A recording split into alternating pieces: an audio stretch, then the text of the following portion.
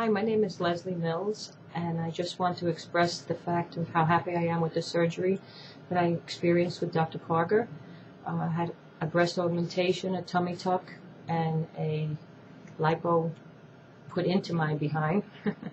and I just want to express how happy I am and so glad that I had this experience. I wanted this for many years. I had four C-sections, and um, no matter how much exercise you do, you can't get rid of stretch marks. And um, so I really, I'm very happy that I did this. And um, for anybody else who's interested, it's great. And I had the fat injections also from the lipo put into my behind. And um, so far, so good.